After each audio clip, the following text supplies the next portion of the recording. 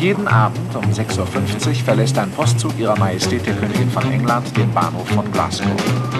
Am Morgen des 8. August 1963 erreichte der Zug sein Ziel nicht.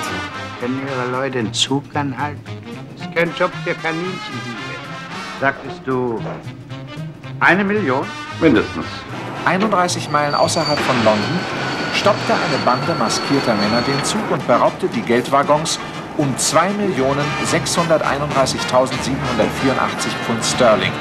Von den Tätern wurden elf gefasst und zehn zu Gefängnisstrafen bis zu 30 Jahren verurteilt.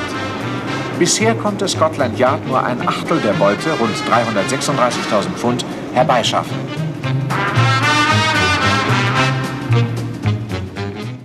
Es war einmal ein Bürger ihrer Majestät, der Königin von England. Anstatt wie andere auch durch Lotterie oder Glücksspiel den Versuch zu wagen, das Schicksal zu korrigieren, verfiel er auf die perfide Idee, ganze Waggonladungen von Geld in die eigene Tasche umzuleiten.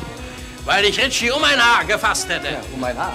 Seit drei Jahren fassen wir ihn um ein Haar wenden wir unser Augenmerk dem Manne zu, der rastlos im Dienste der Gerechtigkeit tätig. Jetzt weiß ich, wo ich Ritchie zu suchen habe. Die unverdienten Träume vom süßen Nichtstun zerstören will. Superintendent James Hooper von Scotland Yard. Er brachte sie alle hinter Schloss und Riegel. Seine Helfershelfer, die ganze Bande.